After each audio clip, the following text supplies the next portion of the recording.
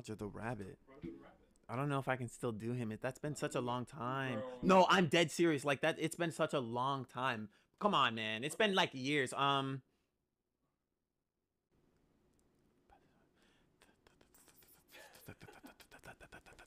Oh, I'm trying to. Give me a second. There